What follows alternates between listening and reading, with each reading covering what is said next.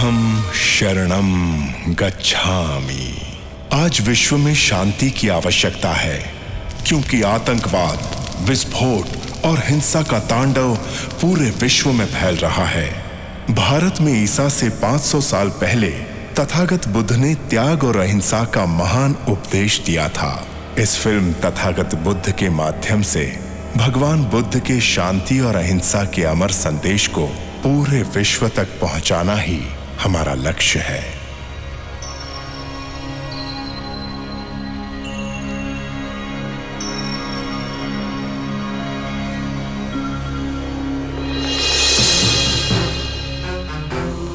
विद्वान ब्राह्मणों को शुद्धोधन का प्रणाम।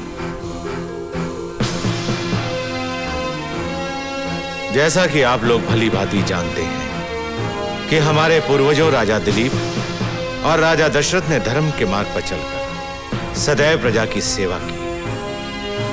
और आपके आशीर्वाद से मुझे आशा है कि छुआकू वंश की परंपरा भी आगे बढ़ेगी। कल रात महारानी माया देवी ने एक विचित्र सपना देखा। आकाश मार्ग से छह सूंड वाला एक सफ़ेद हाथी उतरकर उनके गर्भ के दाहिने भाग में समा गया इस सपने का क्या अर्थ है? और यह किस बात का संकेत देता है? राजन इस सपने का अर्थ और शगुन दोनों ही मंगलदायक हैं। यह संकेत देता है कि आप एक अभिजात्य और दिव्य पुत्र के पिता बनेंगे। हम सबकी यही राय है पर महापंडित कौशिक कुछ कहना चाहते हैं। कुलीन राजन महारानी जिस पुत्र को जन्म देने वाली हैं उसकी महानता के बारे में विद्वान पंडितों ने जो मुझे बताया है मैं उससे सहमत हूँ। किंतु हाँ हाँ बताइए। आपकी क्या राय है? पर इस बात की भी संभावना है कि आपका यह महान पुत्र एक महान ऋषि बनेगा जो विश्व में धर्म की स्थापना करेगा। पर उसके सम्राट बनने में मुझे थोड़ा संदेह है।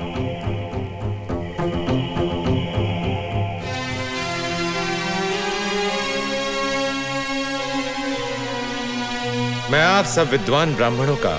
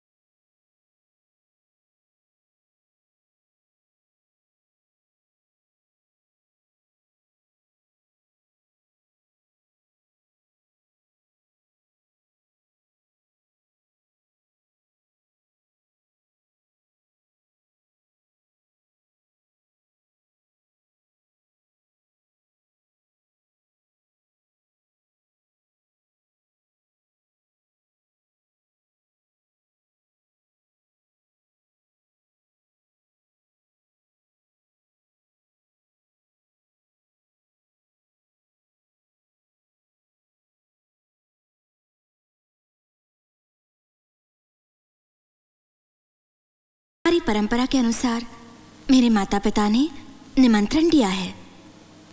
उन्होंने आपसे विनती की है कि मेरी प्रसूति के लिए आप मुझे देवदाह जाने की आज्ञा दें।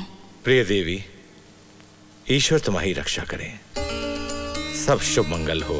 आर्यपुत्र जैसे सीता माँ ने श्री राम को लवकुश रूप में दो दिव्य पुत्र दिए वैसे ही मैं आपको एक महान पुत्र दूँगी। महारानी मैं आपके इस शुभ समाचार की प्रतीक्षा करूँगा। अवश्य।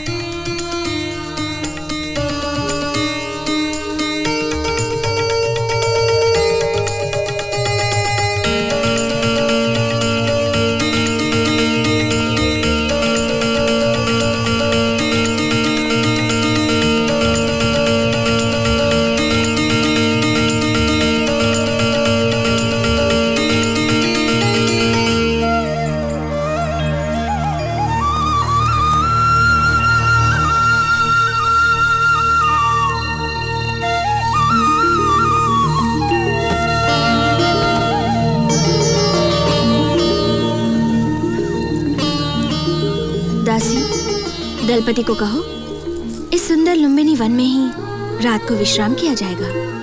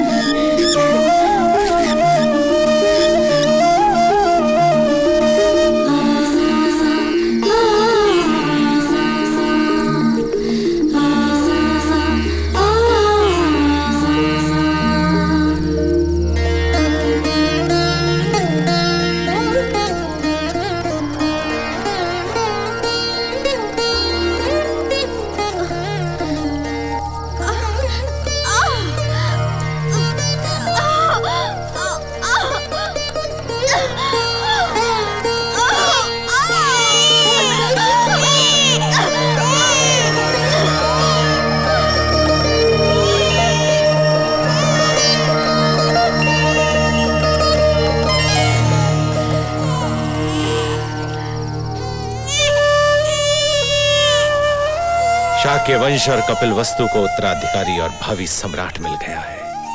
आज आज मेरे आनंद की कोई सीमा नहीं है।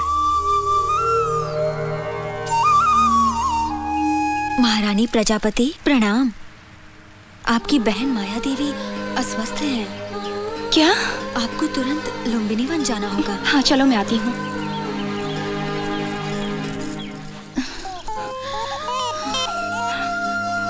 प्रजा ये सिद्धार्थ है। मेरी तपस्या का फल। मैंने इसके लिए तीर्थ यात्राएँ की, व्रत अनुष्ठान किए। ये कपिल वस्तु और शाक्य वंश का उत्तराधिकारी है। तुम्हारा पुत्र।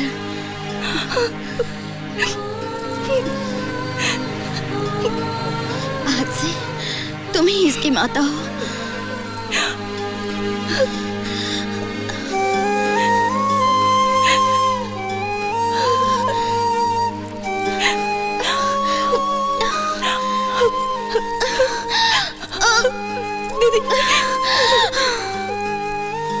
दीदी। दीदी। दीदी। दीदी। दीदी।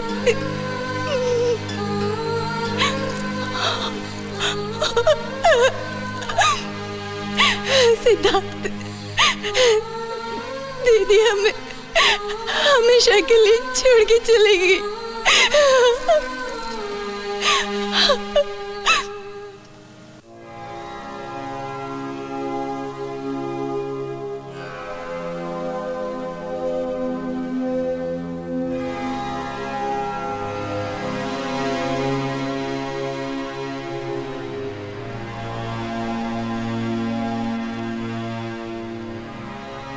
महाराज शुद्धोदन, आपका ये दिव्य पुत्र एक महान उपदेशक बनेगा, विश्व को एक नया संदेश देगा यह सन्यास के मार्ग को अपनाएगा। मैं बड़ा भाग्यशाली हूँ, जो मुझे इसके दर्शन हुए। इसके शरीर पर बत्तीस शुभ अंग लक्षण हैं, जो बताते हैं, ये एक महापुरुष है। महात्मा।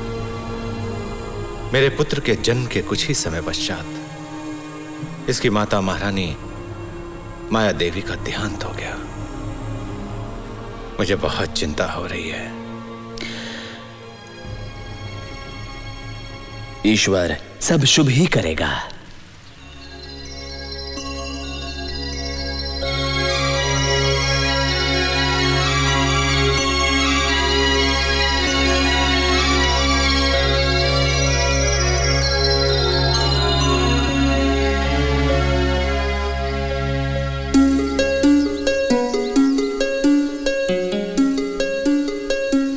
नन्हे युवराज सिद्धार्थ, बड़े मेधावी हैं। युवराज ने वेदों पुराणों का अध्ययन भली भांति कर लिया है।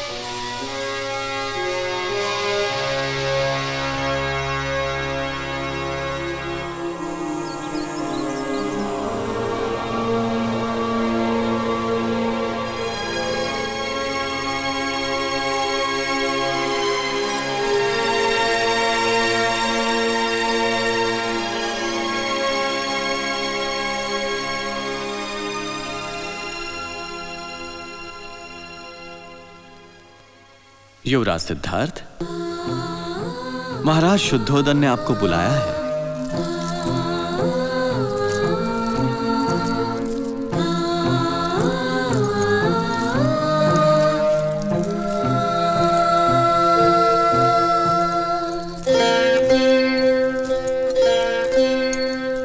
प्रणाम पिताश्री।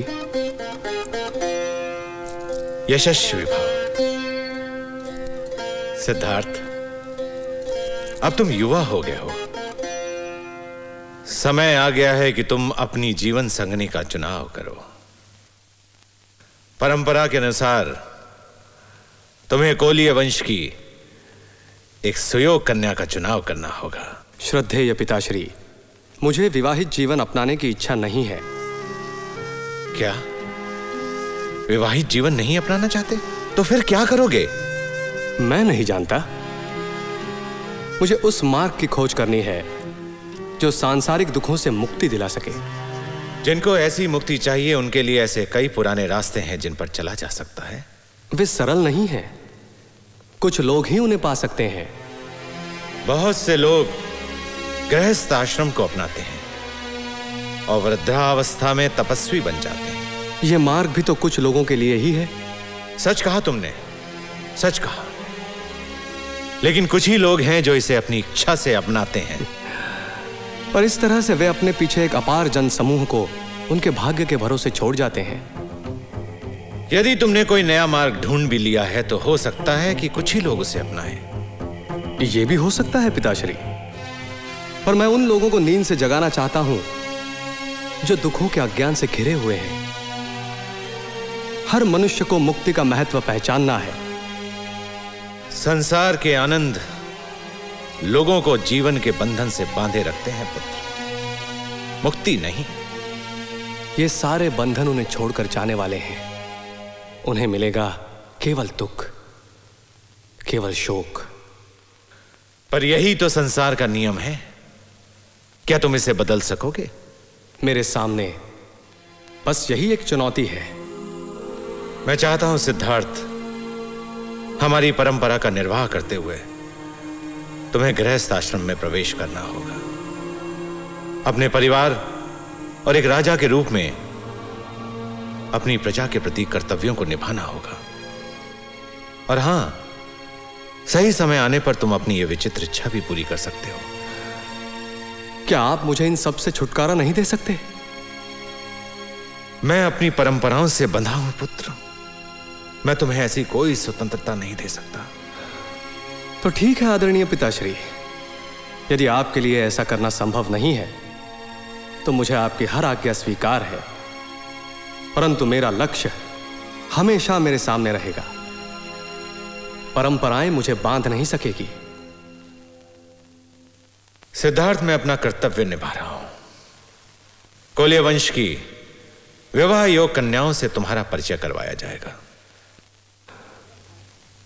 जी पिताश्री।